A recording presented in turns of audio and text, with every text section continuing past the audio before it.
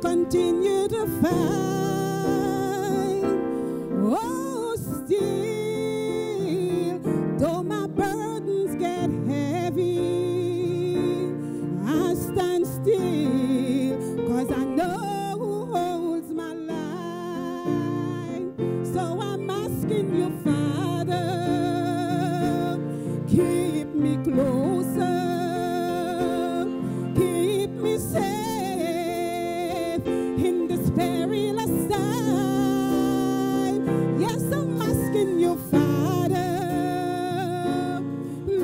protect me.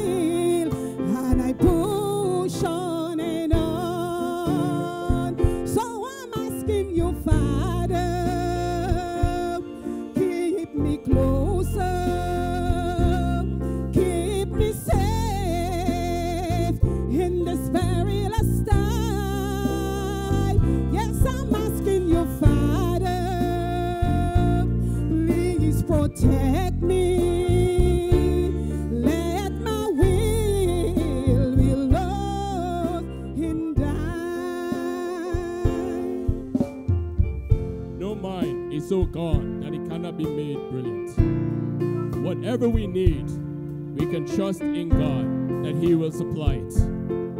If anything is cause worry and anxiety, let us come rehearing the difficulties and trusting God's healing power and His love. Prayer is the answer to every problem in life. It will keep us in tune to find wisdom, which adjusts everything perfectly. So often we do not come in prayer and pray about our certain situations, but God is always there for us.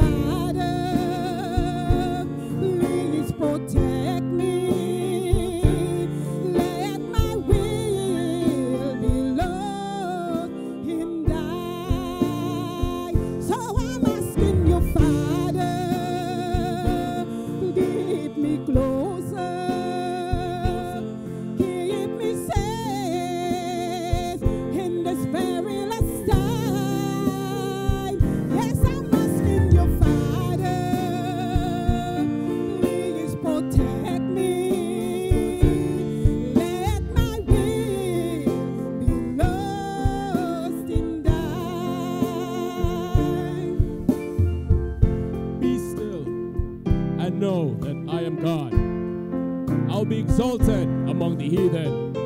I'll be exalted in the earth. The Lord of hosts is with us. The God of Jacob is our refuge. Selah.